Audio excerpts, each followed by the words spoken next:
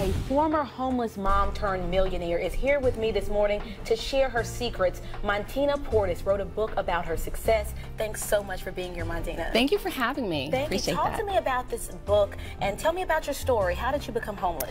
Well, the book is How to Make Money Online and How to Do It in 20 Simple Steps. And we're talking about passive income streams. Montina Portis here with Creative Internet Authority. And as you can see, I have transitioned from video and YouTube over to national and local TV. This year, I'm doing big things, and I want to invite you to come out and meet me. I would love to meet you at one of my private meetups. So, I'm going to be in a city near you, and I want to meet you and share more than I did in a three minute segment on the show. All of this is to show you that it doesn't matter who you are or where you're from, anything is possible. Great information. You have inspired me along with so many other moms.